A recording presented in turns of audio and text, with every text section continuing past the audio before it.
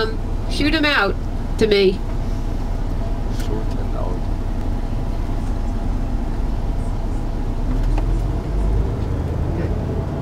We'll do that. Well, ten dollars, they're not gonna gorge too much. Okay.